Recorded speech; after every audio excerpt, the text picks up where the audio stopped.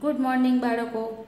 આજે આપણે કલરવ ગુજરાતી પર્યાવરણ ધોરણ એક, પાઠનો પોપટે ખાધી પાકી કેરીમાં પાન નંબર એકસો ત્રણ ઉપર પ્રશ્ન નવ લખવાનો છે આપણે. ચાલો તમે પણ પાઠ્યપુસ્તકમાં મારી સાથે લખજો. પ્રશ્ન નવ કયો છે આપણો? ટપકા જોડો અને લખો. બાળકો, અહીં તમને કક્કો આપ્યો છે. તેમાં આપણે ટપકા જોડીની મદદથી એના અક્ષર લખવાના છે અને બોલવાના છે. અને શું બોલાય બાળકો? ભ ભમરડાનો ભ શું બોલાય અને ભ ભ ભમરડાનો ભ તો તમારે પણ ટપકાની મદદથી નોટબુક તમારી પાઠ્યપુસ્તકમાં જોડવાનું છે અને લખવાનું છે. શું લખવાનું છે? ભ ભમરડાનો ભ ભ ભમરડાનો ભ આ પ્રમાણે તમારે ટપકાની મદદથી જોડીને લખવાનું છે. ભ ભમરડાનો ભ બોલતા જવાનું છે, લખતા જવાનું છે. ભ ભમરડાનો ભ ભ ભમરડાનો ભ આ પ્રમાણે તમારે લખવાનું છે.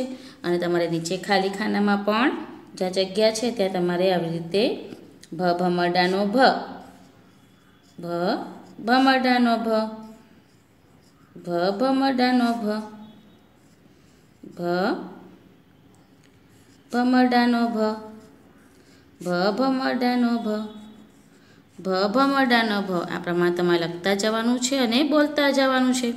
ત્યાર પછી શું છે? યતિનો ય તો આપણે બોલવાનું છે ટપકાની જોડવાનું છે પહેલાં ય યતિનો ય ય યતિનો ય ય યતિનો ય ય યતિનો ય ય યતિનો ય એ પ્રમાણે તમારે નીચે ખાના પણ બોલીને લખવાનું છે. ય યતિનો ય ય યતિનો ય ય યતિનો ય ય યતિનો ય. ય યતિનો ય. તો બાળકો, આ પ્રમાણે તમારે પાન નંબર એકસો ત્રણ ઉપર જે કક્કાના અક્ષર આપ્યા છે, એ તમારે બોલતા જવાનું છે અને લખતા જવું છે. ત્યાર પછી છે, ધ ધજાનો ધ. ફ, ફટાકડાનો ફ. અને બે માત્ર ઐ અને કાંડો બે માત્ર ઔ. તો આ પ્રમાણે તમને જે અક્ષર આપ્યા છે કક, તે તમારે ટપકામાંથી જોડીને નીચેના ખાનામાં લખતા જવાનું છે અને બોલતા જવાનું છે અને પાન નંબર એકસો ત્રણ પૂરું કરવાનું છે. પાન નંબર એકસો ચાર ઉપર તમને પ્રશ્ન દસ આપ્યો છે, તેમાં પણ તમારે લખો. એમાં પણ ભને કાઉનું માત્ર ભૂ આપ્યું છે તમારે ટપકાની મદદથી જોડીને ખાના પૂરા કરવાના છે. અને અહીંયા આપ્યું છે ભને કાનો બે માત્ર ભવ તો એ પ્રમાણે તમારે એને પણ ટપકામાંથી જોડીને ખાના પૂરા કરી લખવાનું છે. અહીંયા યો, યઈ, ધો, ધઈ. ફો વૈ તાર શબ્દ તમને જે બારાક્ષરીના મૂળાક્ષર આપ્યા છે તમારે બોલતા જવાનું છે અને તમારા પાઠ્યપુસ્તકમાં લખતા જવાનું છે અને પાન નંબર એકસો ચાર પૂરું કરવાનું છે. આ તમારું હોમવર્ક છે જે તમારે આ ચોપડીના પાન નંબર પર કરવાનું છે. પાન નંબર એકસો પાંચ પ્રશ્ન અગિયાર વાંચો અને લખો.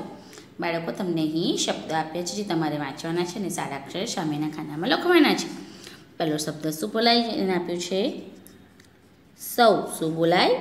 સૌ. પછી છે પૌ આ પૌવા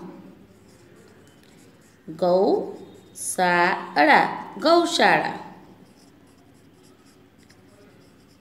ગૌતમ. ગૌરવ. ત્યાર પછી છે સામે તમને ખાનામાં બીજા શબ્દ આપ્યા છે કૌશિક. શું બોલાય એને? કૌશિક.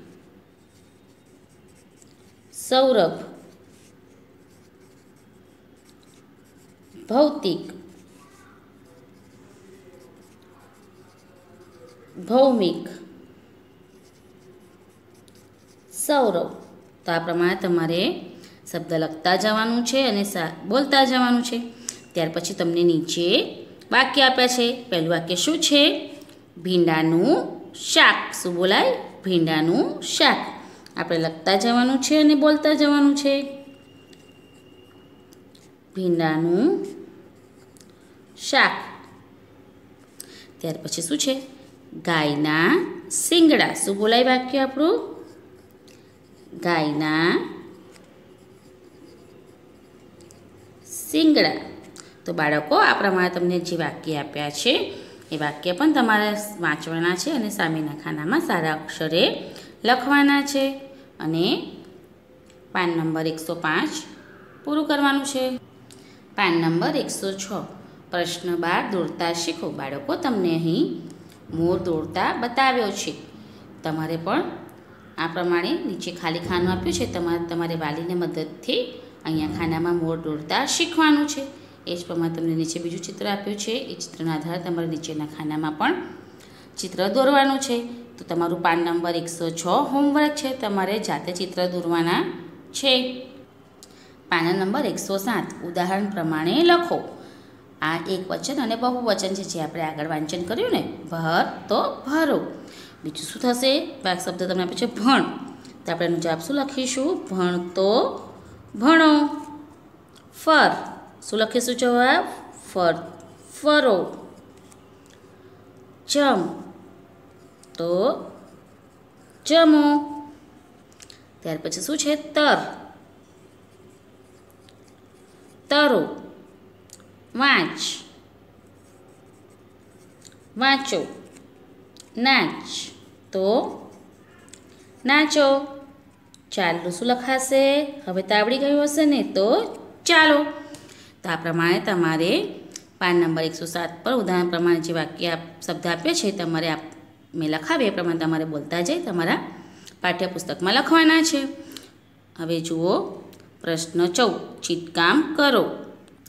પ્રશ્ન શોધમાં તમને બાળકોએ કીધું છે કે સમાચાર પત્રમાંથી પંખીઓના ચિત્ર કાપી ચોંટાડો અને તેના નામ લખો. મારી પાસે જે પંખીના ચિત્ર છે, એ મેં તમને ચોંટાડી બતાવ્યા છે.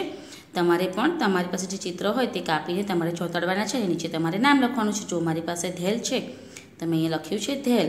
પછી ઘુવડ નીચે ચિત્ર છે મારી પાસે શાહમૃગ. અને છેલ્લું ચિત્ર છે મારી પાસે પીળક તો આ પ્રમાણે તમારી પાસે પણ જે પંખીના ચિત્ર હોય તે તમારે કાપીને એને નીચે એનું નામ લખવાનું છે અને પ્રશ્ન ચૌદ પૂરો કરવાનો છે. પાન નંબર એકસો આઠ, પ્રશ્ન પંદર, મનગમતા પંખીના પીછા ચોંટાડો. તો બાળકો, તમારે અહીં તમને પાસે જે મનગમ, જે પંખી હોય તેનું પીછું તમને મળે તે તમારે આ પ્રમાણે ચોંટાડવાનું છે. મારી પાસે મોરનું પીછું છે. તે મેં મોરનું પીછું તમને આ પ્રમાણે ચોંટાડી બતાવ્યું છે. તમારી પાસે જે પણ પંખીનું પીછું હોય તે તમારે આ પ્રમાણે તમારા પેજ નંબર એકસો આઠ ઉપર ચોંટાડવાનું છે. પાન નંબર એકસો નવ ઉપર પ્રશ્ન સોળ નવો શબ્દ લખો.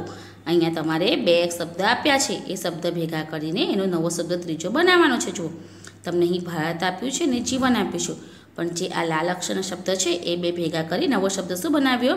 અહીંયાથી ભા લીધો. અને અહીંયાથી જી લીધું તો શું બનાવ્યું ભાજી.